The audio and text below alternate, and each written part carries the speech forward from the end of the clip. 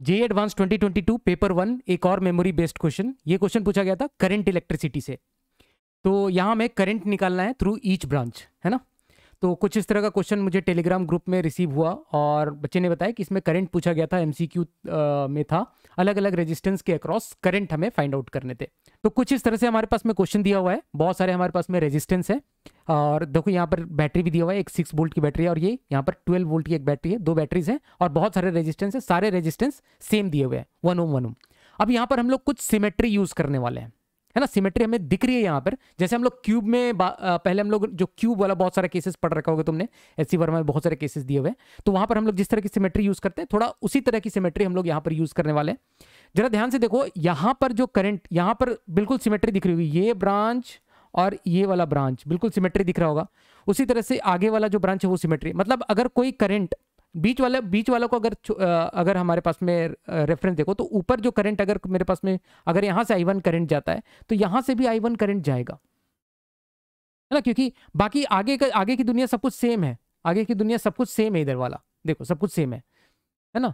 तो बीच वाले के रेस्पेक्ट में मतलब बीच वाली लाइन के रेस्पेक्ट में ऊपर नीचे सिमेट्री है।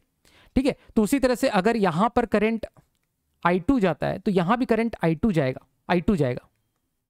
ठीक है? उसी तरह से अगर यहाँ से करंट यहाँ पे करंट अगर आई थ्री जाता है, यहाँ से आई थ्री तो यहाँ भी करंट आई थ्री जाएगा। मतलब एक तरह से, पूरी तरह से हमारे पास में सिमेट्री बन गई। किस तरह की सिमेट्री बन गई? देखो, यहाँ ये ब्रांच ये ब्रांच बीच वाला बीच वाला जो भी है, बीच वाला के, बीच वाला के रेस्पेक्ट में ऊपर नीचे इस तरह से सिमेट्री बन गई। अगर एक बार इस सिमेट्री बन गई तो ये वाला जो पॉइंट है और ये वाला जो पॉइंट है, ये इक्विपोटेंशियल पॉइंट बन जाएगा। है ना? इक्विपोटेंशियल पॉइंट बन जाएगा और हम लोग यहाँ पर फोल्डिंग सिमेट्री यूज़ करेंगे।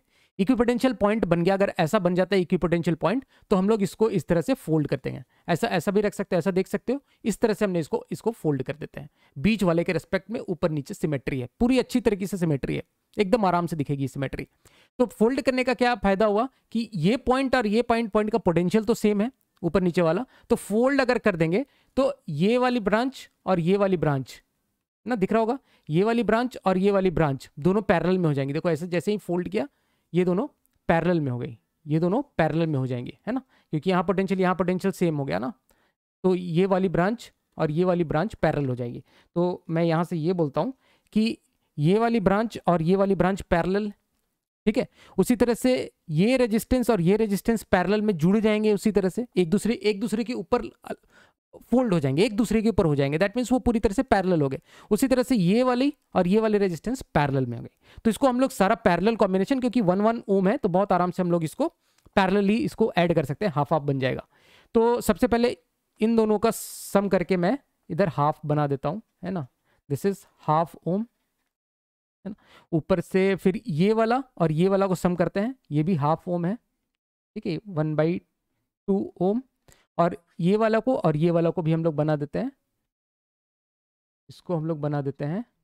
One by two ohm. इस तरह से बना दिया। बीच वाला एज इट इज़ रहने दो। अच्छा बीच वाले के साथ एक काम करो।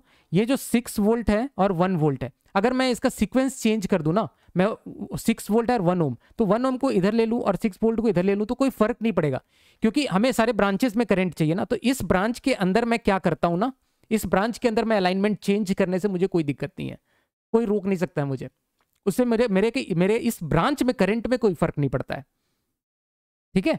तो मैं वो इसलिए कर रहा हूँ तो क्योंकि देखना वो चीज़ें को और, चीज़ों को और आसान कर देगा, है ना? तो मैं एक काम कर रहा हूँ वन ओम इधर ले ले रहा हूँ और ये सिक्स बोल्ट में इधर ले ले रहा हूँ, है ना? मुझे आसान आसान करने के लिए मैं ले रहा हूँ इसको। और यहाँ ये ट्वेल्व वोल्ट है मेरे पास में ट्वेल्व वोल्ट ऐसा बना देते हैं और बचा यहाँ पर वन ओम तो ये हमारे पास में वन ओम बहुत अच्छा अच्छे तरीके से सिचुएशन आ गया।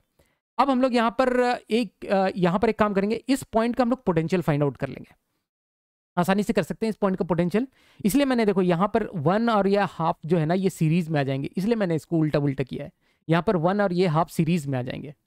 ठीक है? तो इसलिए उल्टा पल्टा किया है। कोई बात नहीं। अभी हम लोग एक काम करेंगे। यहाँ पर सारे आने वाले करंट अगर मान लें आई वन यहाँ से आई टू और यहाँ से आई थ्री तो sum of all the current junction हम लोग जो करंट जंक्शन लॉ पढ़ते हैं, है ना? क्रिचॉप्स करंट लॉ भी बोलते हैं उसको। तो सारे जो करंट का सम को हम लोग ज़ीरो कर देंगे। मतलब हम लोग बोल रहे हैं I one plus I two plus I three को हम लोग ज़ीरो कर देंगे। अच्छा आई वन क्या होगा? वही करंट होगा जो यहाँ से निकल के इधर से होके यहाँ तक, यहाँ पर गया होगा आई वन आई वन ही गया होगा? तो आई वन कैसे निकालेंगे? हम लोग एक काम करेंगे, देखो, इस पॉइंट का, हम लोग एक काम करते हैं पोटेंशियल कुछ रेफरेंस हम लोग ले लेते हैं। तो इस पॉइंट का रेफरेंस सब बारह वोल्ट के इधर वाला रेफरेंस अगर हमने ज़ीरो वोल्ट लिया है ले सकते हैं हम लोग। कहीं से भी, किसी को भी ज़ीरो ले सकते हो। उसके रेफरेंस में यहाँ पर कितना वोल्टेज आ जाएगा? यहाँ पर लो को हमने ज़ीरो लिया है, बारह वोल्ट के दूसरे टर्मिनल में उसके हिसाब से बारह वोल्ट आ जाएगा। यहाँ पर बारह वोल्ट आ गया। अब 12 वोल्ट अगर इस टर्मिनल में अगर बैटरी के नेगेटिव में 12 माना है 6 वोल्ट वाली में तो उसके पॉजिटिव में कितना वोल्ट आ जाएगा? 18 वोल्ट हम लोगों को मानना पड़ेगा। तो ये हमेशा जो पोटेंशियल हम लोग डिफाइन करते हैं ना, वो रेफरेंस पॉइंट के रेफरेंस के हिसाब से हम लोग डिफाइन करते हैं। ठीक है, ये ज़ीरो है तो ये बारह ये अठारह। अगर मैं इसको एक ले लेता, ले सकता था तो यहाँ पर तेरह होता और ये उन्नीस हो जाता। ठीक है तो आई वन आई वन हम लोग देखेंगे आई वन कैसे निकाल सकते हैं? Eighteen minus v divided by आने वाले, रास्ता में आने वाले जो भी रेजिस्टेंस है। हम लोग लिखेंगे 18 माइनस वी यहाँ से यहाँ तक का पोटेंशियल डिफरेंस हो गया इन दोनों का। डिवाइडेड बाई आने वाले रास्ते का रेजिस्टेंस कितना हो जाएगा? One plus one by two that is three by two three by two plus I two देखो कितना निकल जाएगा? आई टू निकल जाएगा। Twelve minus twelve minus V divided by half ठीक है twelve minus V divided by half plus इधर कितना निकल जाएगा? आ, ये निकल जाएगा ज़ीरो यहाँ पर पोटेंशियल ज़ीरो है। Zero minus V divided by three by two and इन सबका सम किसके बराबर होगा? ज़ीरो के बराबर होगा। है ना? तो अब इसको जरा हम लोग सॉल्व करें। तो ऊपर कितना चला जाएगा? हाफ़ हाफ़ हाफ़ सबसे हम लोग ऐसे हटा सकते हैं।